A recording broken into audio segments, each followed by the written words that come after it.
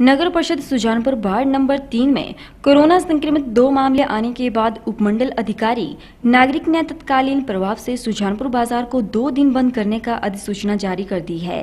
राखी के इस पर्व पर सोमवार को उम्मीद लगाए राखी विक्रेताओं के अलावा अन्य दुकानदारों को हालाँकि मायूस होना पड़ा है, लेकिन कोरोना वायरस के डर के चलते उपमंडल अधिकारी नागरिक द्वारा लिए गए निर्णय से सहमति जताई है। गौरवतलब है कि सुजानपुर के बाढ़ तीन में दो सगे भाइयों के कोरोना वायरस के चपेट में आने से, जहाँ बाढ़ की गली को कंटेनमेंट जोन कर अस्थायी रूप से बंद कर दिया है, वहीं एसडीएम ने एहतियात के तौर पर बाज़ार को बंद करने की अधिसूचना जारी कर दी है। बाज़ार बुधवार को खुलेगा। उपमंडल अधिकारी, नागरिक शिल्पी बेगटा ने बताया कि अधिसूचना जारी कर दी है। उन्होंने लोगों से भी सावधानी बरतने को कहा है।